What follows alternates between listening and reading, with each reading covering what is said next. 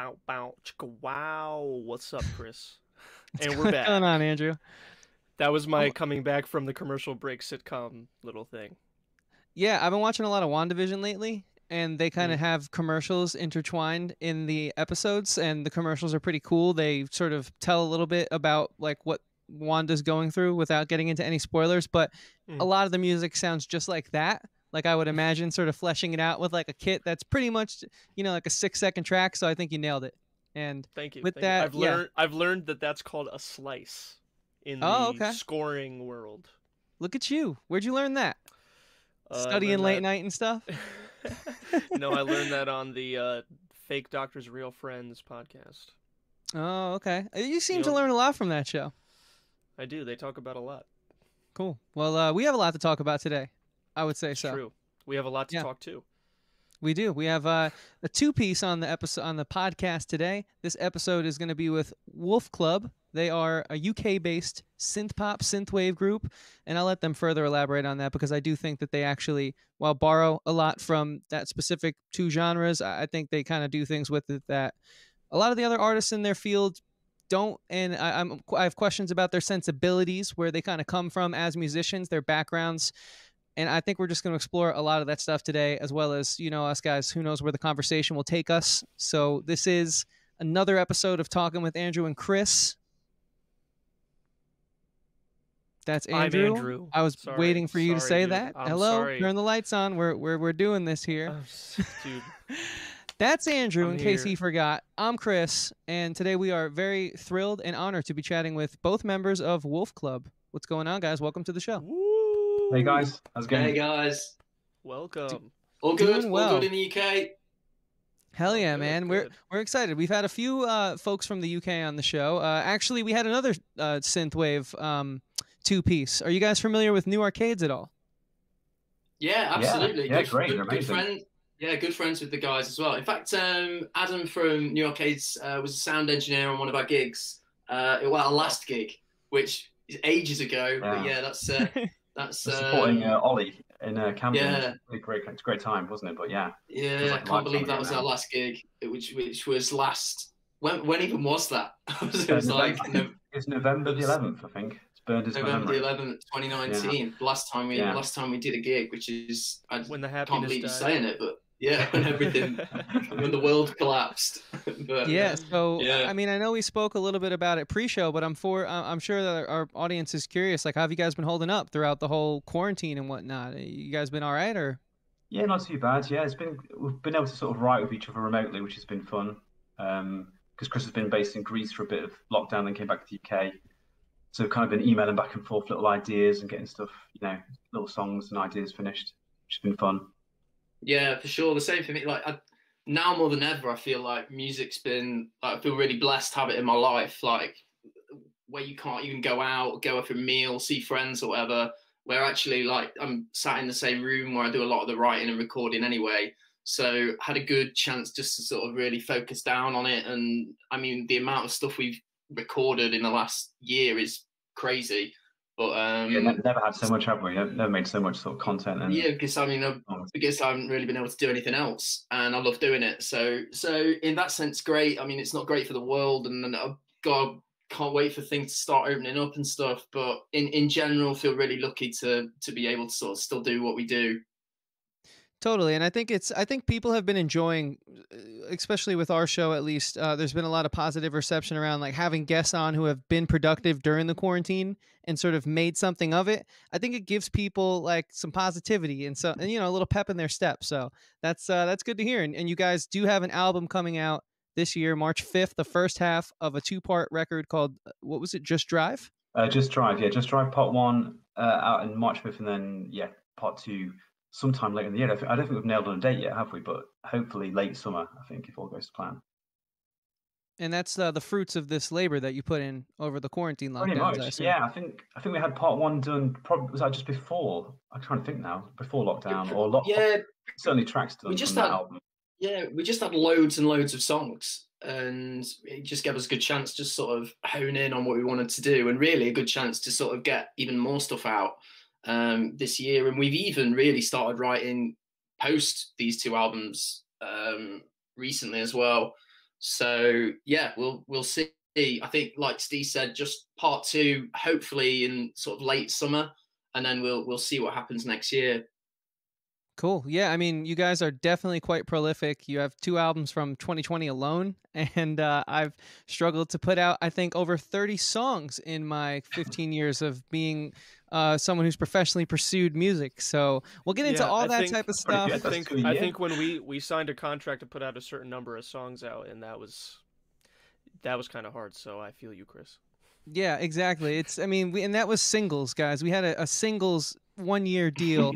and to, to put out 12 singles was difficult let alone the amount that you guys pump out but i'm very excited the new artwork is really awesome um it, to me it just already shows progression kind of getting away from like the more neon palette. It, it's still very cinematic but we, we can obviously uh, talk about all that a little later on in the show what, what we can expect from the new record. But to start for guests of ours who who might be coming from our side of things we we normally traditionally interview I guess more organic based um, music, and it's it's hard to talk about you guys because there are so much guitar and uh, keys that that aren't you know pads or or bells or things like that in your mixes, but I think you are rooted in synthwave and synth pop to start. So for for our audience who's kind of like still getting used to this style of music that we're exposing them to, the synthwave synth, synth pop world, why don't you take us back to like the very beginning, the inception of the band? What kind of inspired you guys to take this route and to jump into like this world of sort of like electronic music and just just like spare no expense. Like any details you can give us are, are more than welcomed here.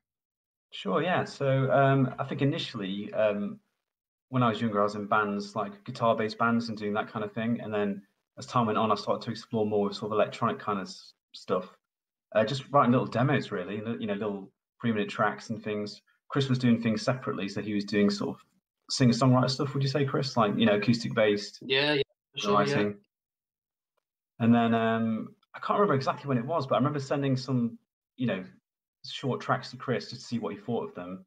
Uh, over a decade ago, probably. You know, Yeah, probably, yeah. 10, 10, 12 years ago. Um, he kind of came back with some ideas for the vocals, and then we sort of, you know, ha- had these little tracks that we didn't really do anything with for a long time. Uh, and then as time went on, we kind of built on them, and then sort of, you know, explored different synth sounds and different, uh, different ways of writing, and eventually it just became Wolf Club. For about five or six years ago, I think it kind of solidified into what we are now. I'd say. Yeah, for sure. I think for me, it's like like like Steve just said. I I was very much into um like acoustic singer songwriter stuff. Um, Steve very much. a bit- I, I guess a bit more metal now. Steve, yeah, Metal at one point, yeah, probably indie, Yeah. say indie rock. I imagine, yeah. I- Yeah, indie and then We've think- been known to play you a couple metal showcases back in the day. nice, nice. yeah, we were in like a uh, a bluesy sort of like folk rock band, but Oh, I wow. just came Nice. up through the punk rock uh, scene, the hardcore scene to be exact, and so that was how I knew how to get shows. So we were like, we played more than our fair share of shows with bands that look like a, a cheap Kiss ripoff. nice, nice. I think, and I think from from sort of somewhere in the middle, I guess like is like Deftones type, broken Yeah, social Take- scene, that sort of old Sunday, rock, taking back Sunday, those kind of Pumpkins, all those sort of bands where we probably had a little bit more in in common of what we loved, and Mm. then we we tried briefly to be that sort of band, I think, um, and we Yeah, it wasn't it, it was okay, it was it was all right, but it's but then I think and Steve will talk about this more, but I think the transition into synthwave or synth pop, etc. Did I mean Steve's got more of a production background, and for me it was uh, this is so cliche, but it was the Drive film and the Drive soundtrack, and and, and I bet, movie. but yeah, great movie, an amazing soundtrack, and probably ninety nine percent of synthwave bands would probably say that as a, like some kind of influence on them. But that lift scene when um, Real Hero comes on, I was just like, I didn't know what this sort of music was. And then I was in Greece at the time, and I was getting sent these synthwave tracks like every day from Steve and Tim, who joins us when we play live. And I was just this whole world of like music was just like blowing my mind. And I think it is synthwave for me does seem to cross over that acoustic sort of singer songwriter, heavy melody, almost emo, almost Deftones, like alt rock, sort of like melting pot of all those things, which is which are all my favorite music types. So I just fell in love with it, got completely addicted to it. and and I still am. Um, and then I, yeah, and I guess the the synth pop side of it, just I, I love pop as well. So it's um that that's where we're at. Well, that's where that was my journey with it. Yeah, I think you know it's uh, what hearing you say that what comes through in your music is uh, there is sort of that guitar based uh, background to a lot of your songs. Like I honestly feel that with your music, if you just sort of swapped out like the classic '80s bounce bass and had a regular bass guitar just doing like eighth notes, and if you just you know swapped out the electronic kit with the real kit, I mean you have indie rock smashes. You know, it's not too far off from from being yeah, sort of in in, yeah. in some regards like if you look at songs like runaway uh, for example like some of those songs on that album i i think mm. it's what your singer does as well too um, and that's very interesting she's not in the band by the way i want to talk about that I, I, mean i'm not sure if it's multiple voices across multiple songs or it is yeah there's i think we've had about 10 different uh, vocalists in total working on our tracks so yes yeah, it's a big mixture some of them like to be fe- uh, known as who they are featuring in you know in the songs which we'll be doing more uh, for the next mm-hmm. album as well uh, but some kind of prefer to do their own sort of projects and just do it as like a kind of ghost vocal. So that's that's the reason okay. behind that. Because because I honestly genuinely feel that you guys, while you could open up for like more of the traditional synthwave artists like the Midnight or you know T- Timecop, I also think that there are some of those artists like them that would be kind of out of place on a Haim tour, whereas you guys could probably open up for like a band like Haim or oh, um, amazing, yeah. you, you know, and that that's what I meant by saying that like you, you guys kind of flirt with a lot of other genres inside of synthwave. So now hearing you guys reference your inspirations and some of the music you listen to, it, it makes a lot more sense. And was that like sort of a natural decision, or was that something you guys chose to do to try and stand out above the crowd? Uh, because I think we all know synthwave is a very growing and, and now I would dare say oversaturated genre. Hmm. I'd say probably a bit of bit of both, really. Yeah. Um, I guess I, you know, I can't play the keyboard, so I can play the guitar. So a lot of the time, I do write song on a guitar first, then kind of transpose it into, um, you know, uh, the synth sort of sounds uh, using the electronic equipment and everything. So it does, it kind of, eventually I got to the point where I was like writing a riff and then I think, well, actually, I think it just sounds good with the guitar. And if I add that in together with the synths and uh, the bass and everything, it kind of had like a natural kind of fit. It kind of gave it like a different texture to a lot of like the artists that you hear around. So I thought it'd be quite interesting to explore that more for sure. Yeah, sure. And I guess I think, well, for both of us, we both, um, our first instruments were guitar. So our, our songwriting, you know, progression started on playing guitar and writing songs on guitar. I still write songs on guitar and then send them to Steve and then see what happens with them. So I guess that love of guitar is always probably going to be there. And probably even more so on the new album, Still, yeah, it's probably got even more guitars yeah. than, than we've ever had. I think um, every track on this on the new one, whereas on the other ones it's like you know every other track kind of thing. Um, yeah. Even if it's, if it's low in the mix, there's still like a little bit of guitar, I think, in every single song. Okay, but how many tracks have saxophone on them? Oh, uh, can we say? I'm sure we can say. It, three? it three?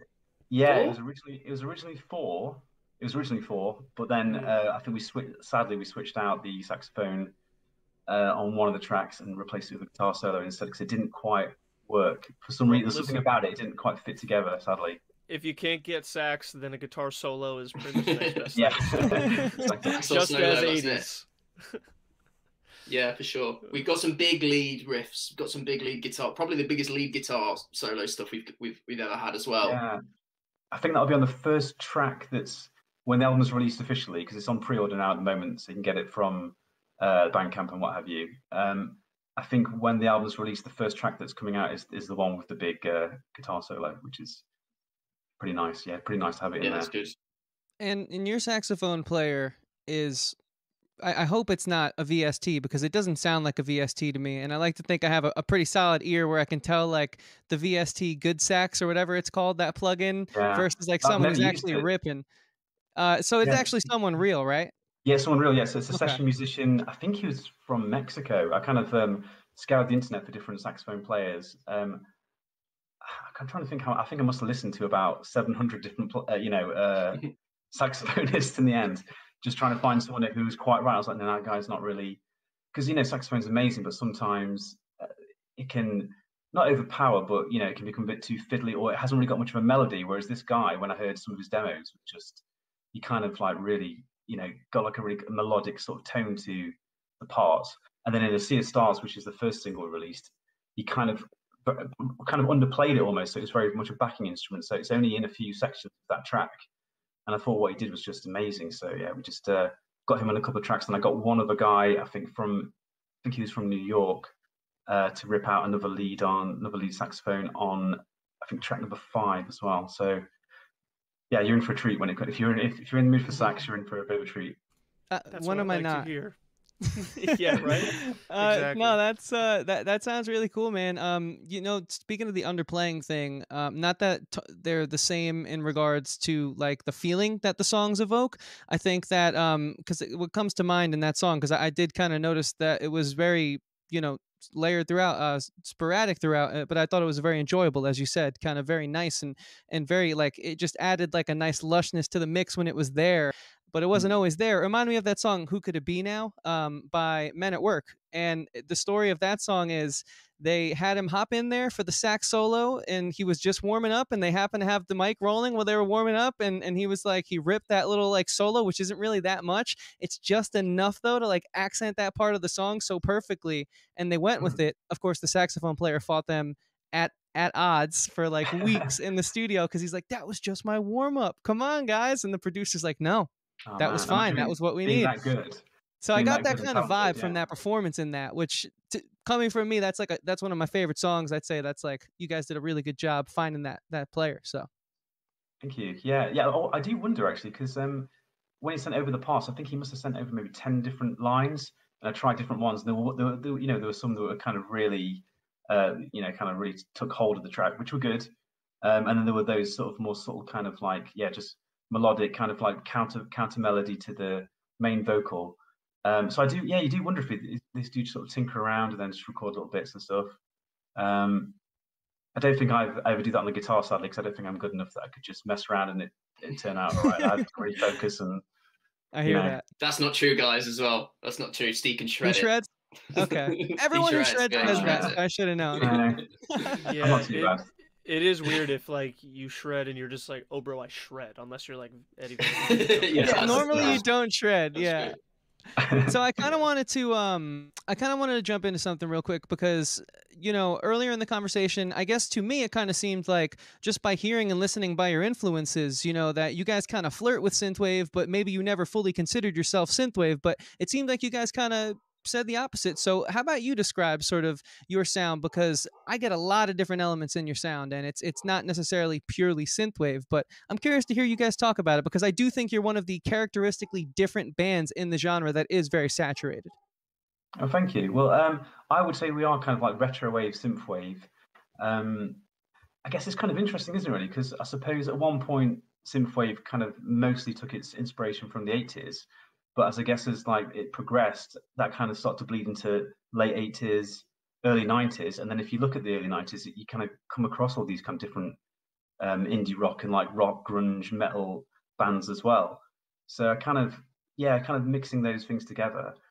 I don't know if I wouldn't say I don't know if we sound particularly 80s, but I do think that we kind of take the instrumentation, that sort of kind of analog synth sounds uh, from like you know movies from soundtracks from that period and that, that kind of thing, and blend that in with those other elements like you were saying. But yeah, I don't I don't always know if if I've, if our tracks do sound that 80s. What do you think, Chris? I, mean, think sometimes, yeah. it's it, it's the it's like the quintessential 80s you know the sax and all that sort of, but i think i think we try and or at least uh, with like vocal lines and stuff i always try and like delve a little bit into the new wave stuff as well like i'm, I'm a massive fan of the cure and in fact we i mean back in the day when we were in the studio like the the uh the engineer told me to stop sounding like you you just like you, like i'm doing an impression of him.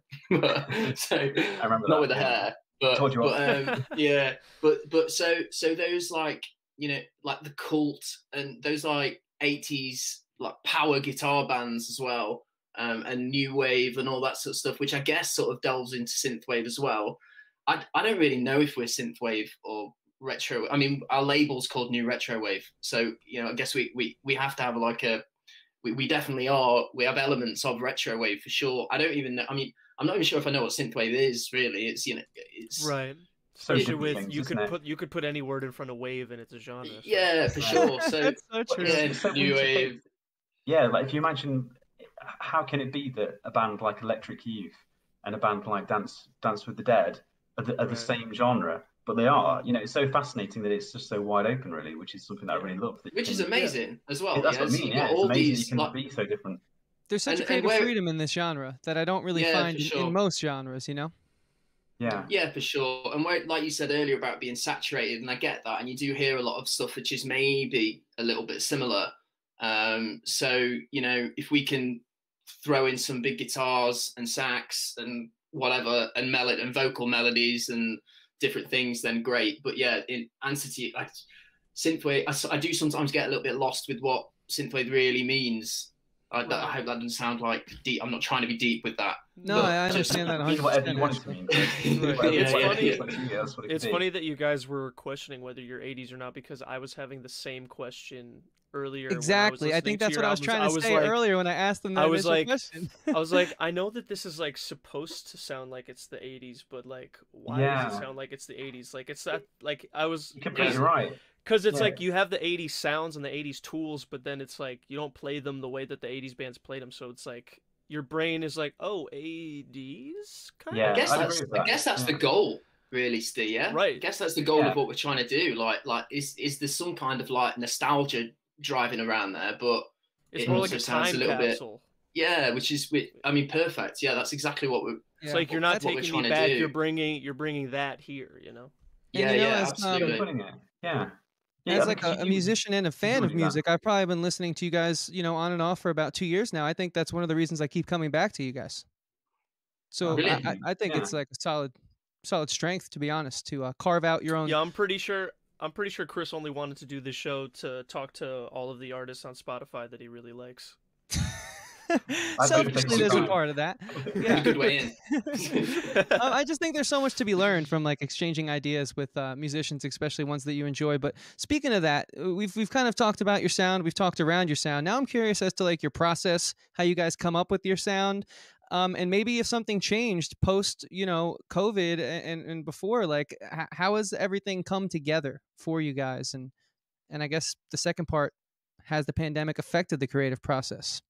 Hmm, That's an interesting question. Yeah. So I guess how do we we usually start a track for the most part. Um, I'll come up with like a little bit of music. Um, so I use Logic Pro Pro X, which is like um like a like a DAW that you can use. It's pretty pretty decent. I'm sure of people listening will, will use that as well. Um, so I usually yeah experiment with some sort of different chords, some different synth sounds. Um, kind of have it in a very rough form, then send it across to Chris for him to write some vocals to. Um, occasionally, I write the, write the vocals as well. We kind of, but then I'll knock it, knock ideas around to Chris as well. Then he bounces it back. I didn't. I'm, I wonder if the, uh, the the pandemic has affected our process. I, th- then, I think the only way it's affected us really is maybe that it's made us work more, possibly because, like Chris said earlier, that we just had more time to do it. Um, I guess we, I do miss being in the same room as Chris, so we can, you know, Of course you do. of course Nice. I do. You know, you wouldn't- uh, like you know, just being able to bounce ideas off each other straight away. Whereas you know, there's often a bit of a delay. Although actually, we're getting better at sort of, you know, having like the evening we will be writing, so I can send him something and he'll come back within an hour and say, you know, that's rubbish. Try again, or um, you know, maybe add this, take away the drums or whatever. Um, Yeah, So, for sure. yeah. I think like ultimately it I think it works well with me and Steve's because we write in loads of different ways and there's a, we haven't just like, got one fixed way of right, well, is this, is this, bang. And so it might be that Steve's played a track on guitar and sent it me. It might be I've done a track on guitar. It might be an old track that I've done on piano and I thought like maybe we can work this into something. And maybe we've written a track about like, you know, just a random TV show or something just to see if we can get some ideas going. But in terms of the pandemic, a little bit like we discussed earlier, it's been it's it's been productive for us. Like we've we've we've hammered it. The the only thing we've changed in terms of like production is I've upgraded like my home equipment uh, because we used to spend a lot of time in the studio because we found it difficult to really um to really nail i guess vocals really more than anything to the vocal Mhm. quality outside outside of a studio that we used that was closed so yeah i i upgraded a little bit of that well we both upgraded um, some of the equipment that we used to, see, to to get it to a level where we can release it without getting into a studio Yeah, I mean, I think that's I think what that's you have to do in these did. crazy times. Take take That's the pretty power much in your own exactly what happened to us. Yeah, Yeah. we were exactly. meet, we The- were meeting up at a studio to do the show together in the same room also even though it wasn't video at all which is kind of Mm. funny and then the pandemic early happened days. and and we couldn't meet up so chris was like hey i found this thing called streamyard i'm like tight and now it's kind of better than it was before And for me, and then this- i also had to buy a webcam and a better microphone and everything so like it all works out i guess as long as you spend the time wisely yeah, Yeah, and for me, this this whole studio behind me was built during the, the quarantine because Amazing. you know I, I couldn't go anywhere, I couldn't do anything, and I wanted to be productive. yourself? Looks pretty, Uh, looks my- pretty cool. My father and I, he's the handyman, um, Yeah. and I said I was like, hey, this is where I want that to be put. Shout out paul But uh, this desk right here in front of me, you guys can't see. We actually did, uh, you know, sand it and all that stuff, and so it was like a really cool process. And that only came out of like not being able to go to a studio, not being able to meet up with Andrew to work on music, but wanting a way to still send him demos, send him stems. So yeah. I think a lot of people, because a lot of our audience are sort of people who are where Andrew and I are at, where you know we're we're just still trying to get there. We've uh, we've had quite a journey, but we're not quite where we want to be yet artistically, or they're a little bit further behind. So I love this type of like do it yourself, take it into your own hands type of scenario that you guys fought and Yeah. conquered. So Well, that's that's. I guess that's why this this genre, which I you know, which we love so much, is so so open for that, isn't it? I kind of love. I know people do say that it is oversaturated, and you know, there are so many different bands doing what they do, and different artists and stuff. But it's kind of great that it's it's there, and that the genre kind of encourages that. So you know, um, I don't think I would have started if if if if it had been overly complex, if that makes sense at the time. I just kind of saw it being something that I could start, you know, ease myself into, then just get a little bit better each time. So I started, you know, uh, maybe 20, I'm quite old now, so about 20 years ago, I think is when I first started to make music with computers. Um, so yeah, that, I, I love the fact that people can take it in their own hands. It's something you can, you can mostly, for the most part, do at home uh, and sort of just experiment and try different things. So there's, you know, that's one, you know, fantastic part about this this genre. yeah, totally. And so you guys were talking about the studio that you would go to, but obviously it got shut down. So now you have your own sort of uh, you know means at, at your own houses. Uh, but my question is, do you guys mix and master your own material, or do you normally outsource for that? Is that the reason why you were going to the studio, or was it just like the environment you found you found was was helpful and, and more conducive to a better product? Uh, sort of talk us through that. There, I'm curious. Yeah, sure. So, um, so I think initially we'd always have um, the final mix and master done at the studio, which is a place in Derby. It's now moving to Nottingham, uh, a place called Snug. Those guys are really excellent. If uh, anyone's in the sort of this, you know, the area around here wants to find somewhere to go and record the stuff. Um, so initially, yes, so we would always do that in the studio. Then as time went on, I started to do more of the mixing and mastering uh, myself. And now at this point, again, uh, the so I think the last three albums I've done myself, but then for this this last album uh, that's going to be out in March, um, the record label have uh, helped us out enormously and sent it off to this uh, a professional guy to sort of you know have a look at it and try and make it as best as as best he can do. Because I think yeah, I'm probably not the best at, at mastering. I think I do okay, but you know there's better people out there to do a better job. I think so. Kind of outsource that element for sure.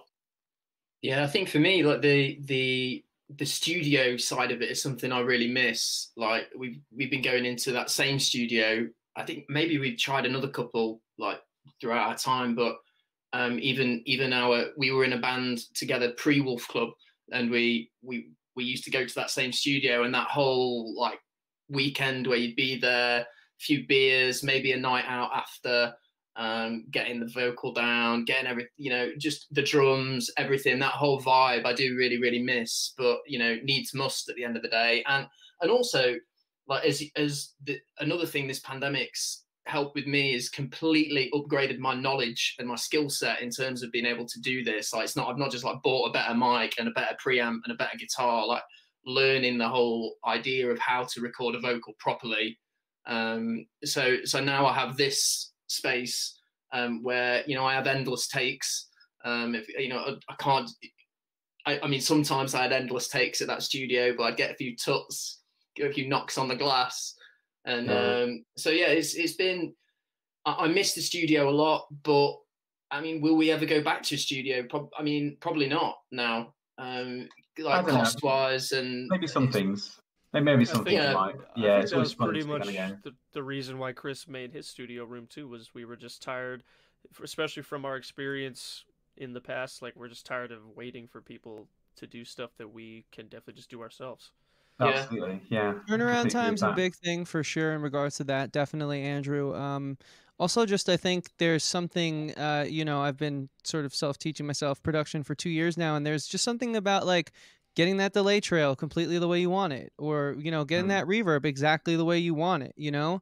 But then my heart does go out to like all those great studios that I grew up playing in, and, and just I wonder how they're going to recover. And and you're right, there is something so amazing about banging out that like you know you got five especially in the younger days you know you, you you'd cram as many songs into a weekend as you can on that Yeah. hourly rate Yeah. you, you track a whole album in, in like you know a whole weekend's worth and then go out with the boys afterwards and celebrate and those are businesses so like i'm curious like for your guys experience being people who are i would say professionals in the industry who have managed to survive uh, in the music industry for quite some time now where do you see like when we finally get back out into open after this this uh, lockdown list like wh- where do you see the studio having a place in uh in the industry or, or do you see that even being a thing anymore Yeah, I think I do. I think um, I think for our genre, we, we have the kind of the luxury of having home studio, home setups, and things like that. But I think there's a lot of a lot of genres where you need that kind of you know that kind of atmosphere. Um, you need to have maybe four people playing together at the same time. You know, all the instruments going.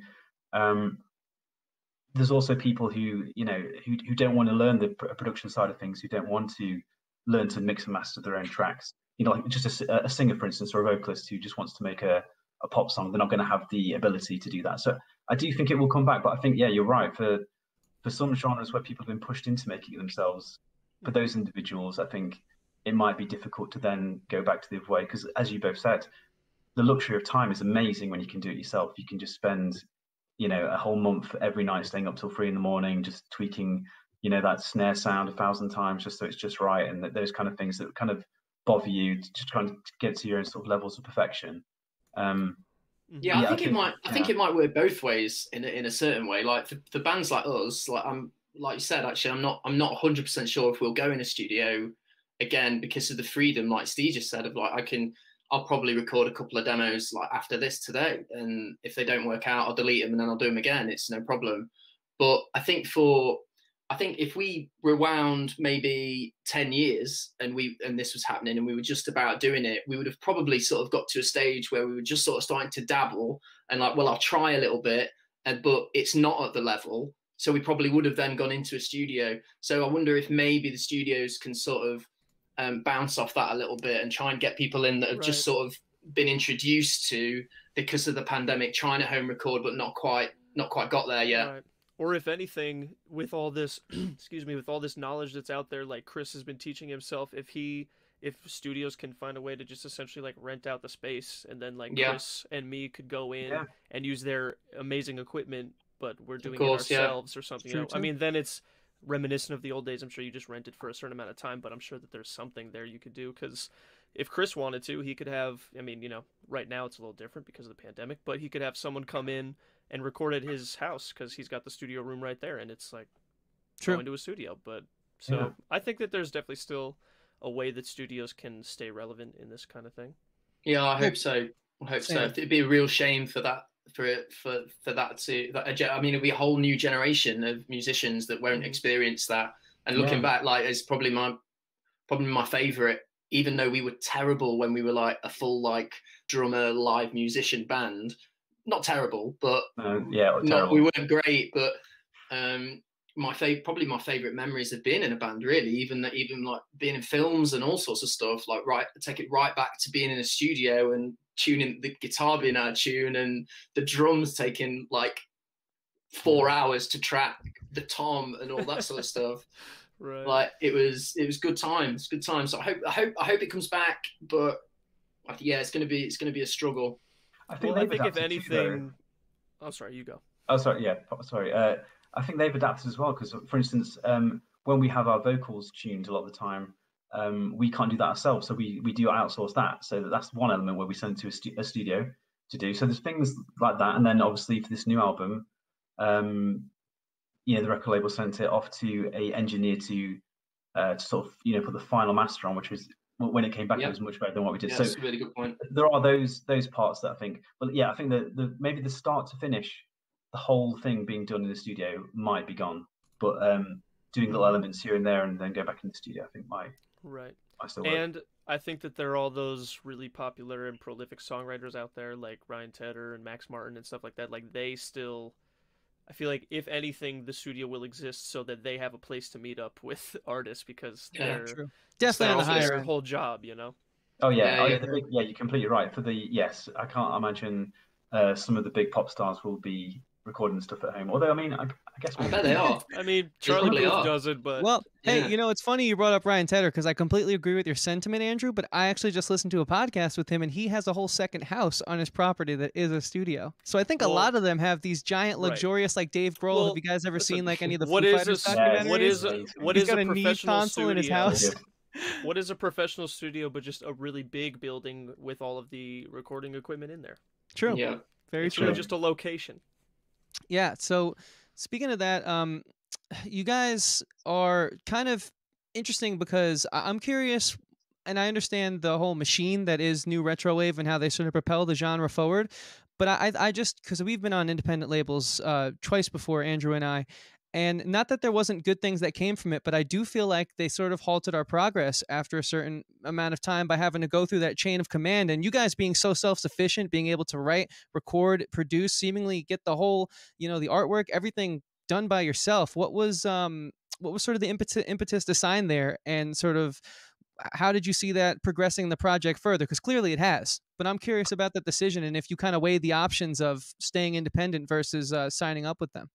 Of course, yeah, sure. So it's yeah, it's, a kind of a long story really, but um, I think when I when I first started, started going into the genre, um, there was like there were two main things that kind of really got me into retrowave, and uh, the the first one was the Valerie Collective. So you know, College, Anoraak, Electric Youth.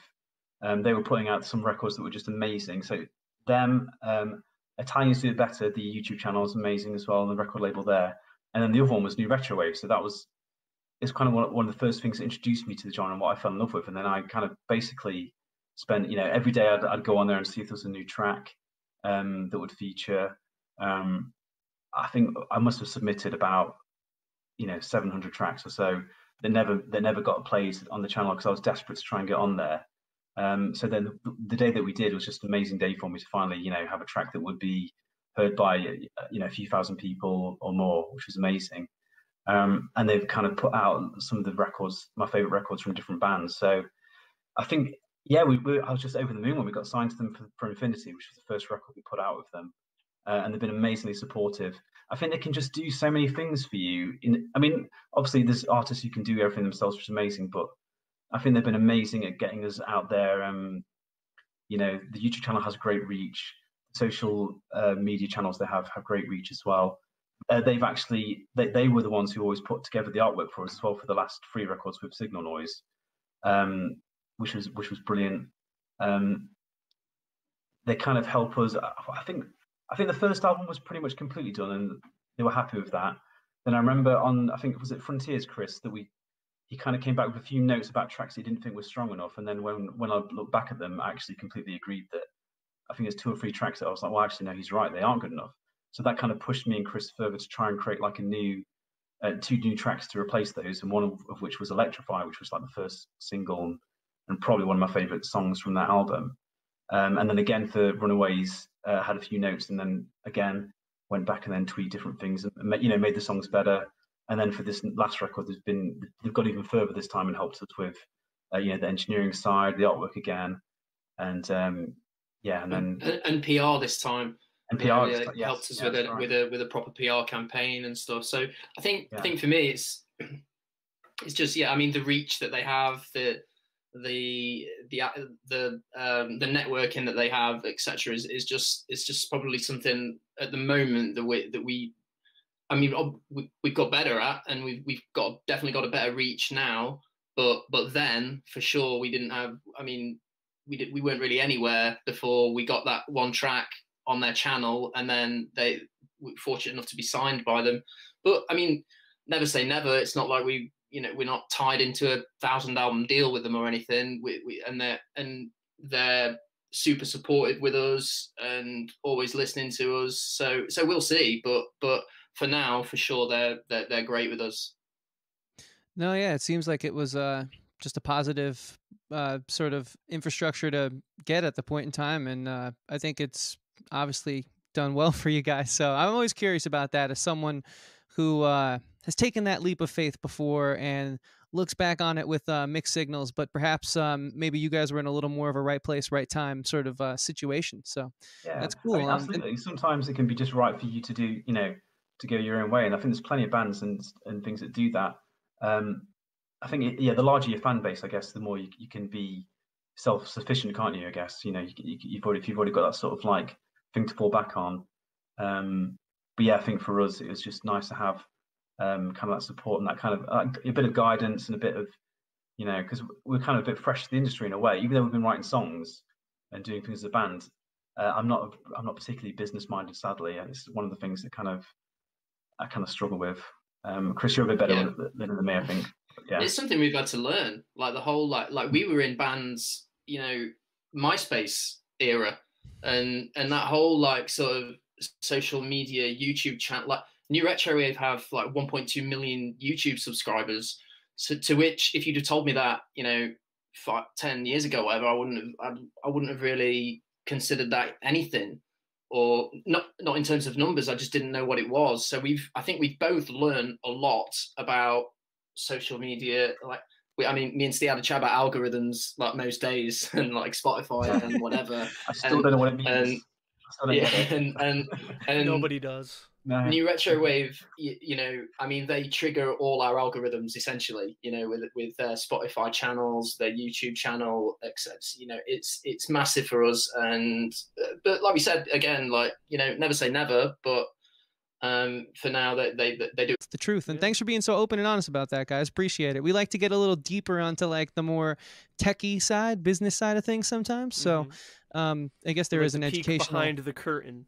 Exactly, yes, exactly. So appreciate appreciate that. Um, so the the last thing I kind of want to ask you guys about before we sort of wrap things up, and uh, thanks again so much for your time this evening, is the different vocalists across all the different tracks. Um, that's something that I was, I guess, I had hinted at, but like you said, sometimes you don't really put the names of the feature on the tracks itself. Uh, so, sort of talk about that. How do you go about sort of finding each singer for said track? Do they have full creative autonomy? Are you sort of guiding them? I'm curious about all of it, to be honest with you. So, sure, yeah, no problem. Um, so, yeah, I think uh, one of the first vocalists we worked with outside the band um, was Indigo. She's from New Zealand. She's got an amazing voice. So she's sang um, Nightwave, uh, Can't Stop Falling in Love, you know, a bunch of those tracks. Um, yeah, she, she's fantastic. Um, we've also had uh, Dora um, sing a bunch of tracks as well. So she's done um, A Sea of Stars recently. And we've got uh, Jackie Nelson. She sang on uh, All We Live For and a bunch of new tracks on the new album as well. Um, and so basically, we kind of we kind of uh, you know search searched around to find a vocal, find vocalists that we kind of want to work with, whose voices that we loved, and that kind of thing. Um, and then we, we basically put to them and said, how would you like to go about this? Would you prefer to be a ghost vocalist because that's what you know services they offer, or is it better for you if you want to be a featured artist? And then basically just done whatever they said, whatever whatever, whatever their preference was, is what we do. Um, so for the most part on the new album, I think every vocalist nearabouts is is a featured vocalist, uh, except for maybe one who uh, she chose not to have a name featured on it because a lot of the time they have their own projects that they're working on. That they want to you know kind of keep you know pure, uh, so they can focus on that. But they like to hire out the voice, um, you know, uh, to perform on tracks basically. Um, and as it went uh, in terms of uh, writing it, so me and Chris write, write the vocal lines uh, the vocal melodies, and then we send them off to the singer uh, to then you know put their stamp on. But you know, all credit to them. We, write the songs, but they do amazing work in terms of giving it that power or the, you know the, the different tones they give it. So um, yeah, and credit where credit's due. It, it really I think enhances our sound to have them featured on it.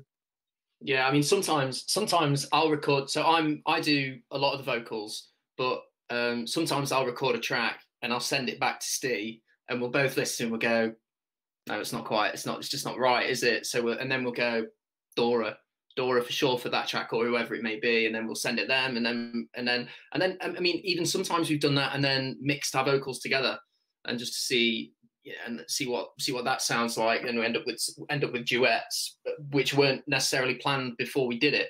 Um, but yeah, just I like for, for me, I like the feeling how it's almost like um, like each album's like almost like a greatest hits of like just all different tracks or like a comp not greatest hits that sounds terrible like a compilation album.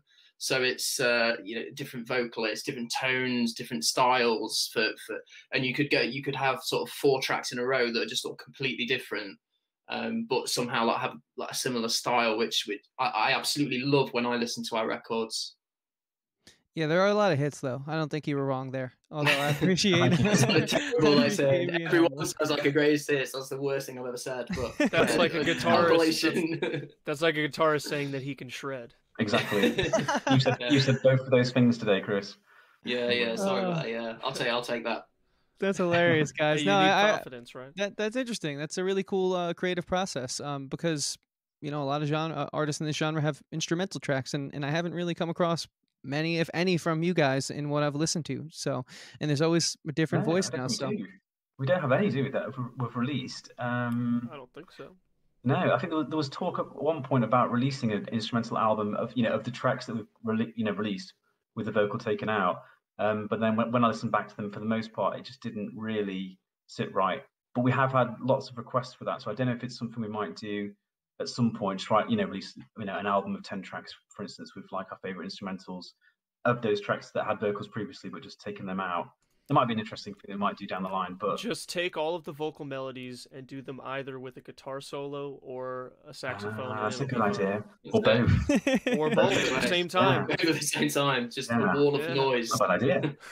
Yeah. Listen, there are people out there that like to listen to a wall of noise. yes. Me My included, roommate yeah. is one of them. I don't. I don't really get it, but you know, it's for oh, some people. Man. So, guys, before we sort of jump into a set question, we normally ask all of our guests: Is there anything we may have missed on your journey? Um, we will touch upon what the future holds for you guys after said question. So, don't think we forgot to ask you about that. But is there anything looking back that we might have uh, missed out on, or that you want to further elaborate on? Did we talk about how you guys met? Oh, Oh, I Yeah, yeah, think we- we did. No, we didn't. Yeah, I don't think we did, did we? Good We- call, Andrew. I'd love to know that. Yeah, we've been we've been friends a long, long time. Our mums used to work together, and we were like forced. Well, I used to, we're forced friends. Yeah, you said that a few kids. times. Yeah, you see, Whoa. you have a. Yeah, See, that's a bad thing about me saying this, but we were You forced said you said it friends. twice already. It's like, yeah, we were forced to be Um, friends. I was like, that's not, that's not nice. Yeah, we were. Well, you're not were- forced we- now, right? Well, I mean, I guess you're under contract. contractually obliged to be friends. contractually Yeah. friends. But yeah, and then um, yeah, we we we didn't go to the same school, but we yeah, mums worked together, and we used to. I think the first time we were like maybe 11, 12 or something when our mums sort of had a, you know, go and spend the day with them in like a half term or whatever it was when we were off school, and then. Um, yeah, I don't know how you met. So we we also we have like a third sort of member, like of the band Mhm. called Tim, who who doesn't do any of the writing and stuff, but but joins us on stage live a lot of the time. And Tim, I don't know how you met Tim, Steve, but I was I did go to school with Tim, so he was sort so- of the linchpin. Yeah, so the- Tim- Tim's, yeah, Tim's one of my best friends from being a kid. So uh, my mum and his mum, were, again, forced friends. Uh, so we kind of grew together. So I've known, I've known him since I was about, I think, about three years old. So he's, yeah, so kind of best friends. You know, I was the best man at his wedding. Not to brag. Um, Humble brag. humble brag, you know. Good old Tim. Damn, gotta Um, thank your mom and- for finding all your friends. I know, yeah. she's the a great mum. I'd have Sounds like not. you have a great Yeah, mom. Steve's mum's the best. Pretty great. Pretty good. That's cool. That's pretty much how me and Chris became friends. It was like we met a couple times, but we had one friend, Tyler, in common that we kept hanging out with Mhm. together, and then Tyler moved away, and here we are.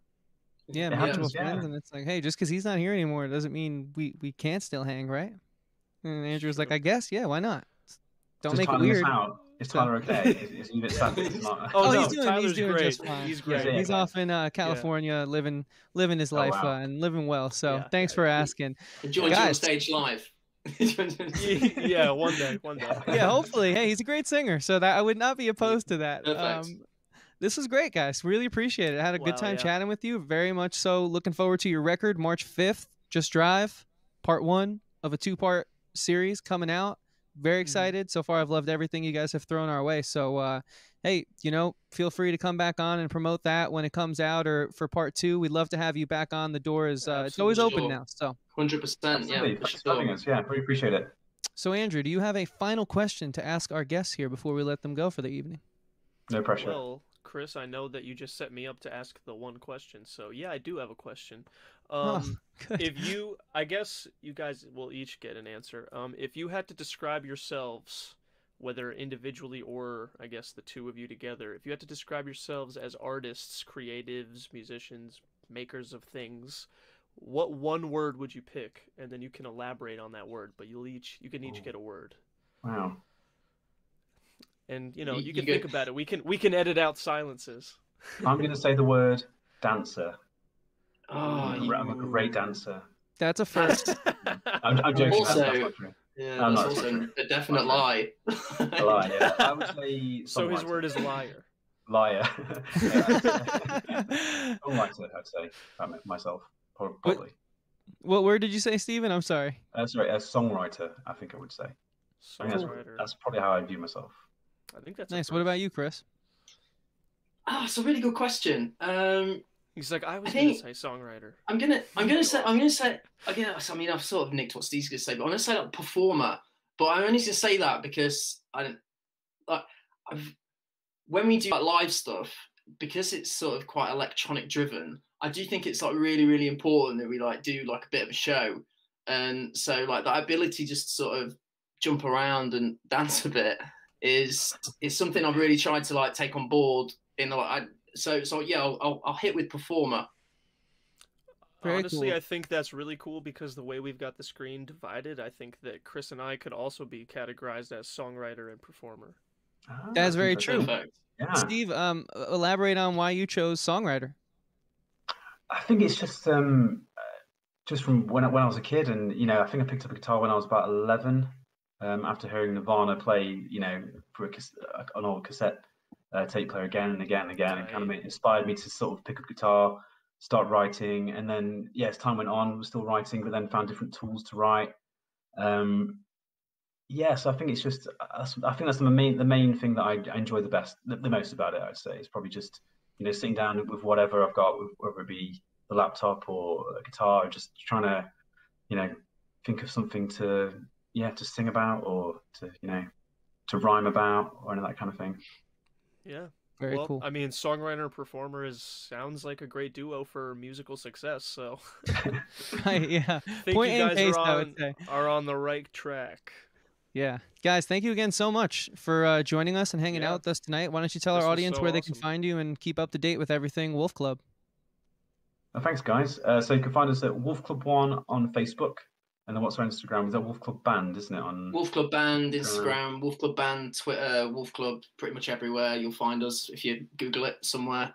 Um, usually, yeah, W W space O space. uh, you know, yeah, spaces sometimes, sometimes Yeah. there's a space. Yeah, Sometimes it's eight there isn't. words. Yeah, sometimes. Which yeah, it's, it's, it's a sore point, but yeah, we'll. Uh, and I, I, I insisted, and you weren't keen, were you? But hey, here we are. Some But, as well. uh, but yeah, you you find us. Find us on pretty much now. You can find us. Just type in normal Wolf Club anywhere. So um, I can yeah, confirm thanks. if you type in Wolf Club without all the spaces on Spotify, they will pop up. Phew, Yes, that's good. they didn't Perfect. used to. Algorithms. Trigger- you guys- exactly. Triggering those algorithms. algorithms. We did it. Amazing, guys. Thank SEO you so much. for the win. Um, Yes. Again, their record Just Drive will be out part one, March 5th. Check it out on New Retro Wave. Um, it was really great time chatting with you guys. Thanks again for Thanks all much, the guys. wisdom So and, and fun times. Thanks so much, Thanks guys. Cheers. Cheers.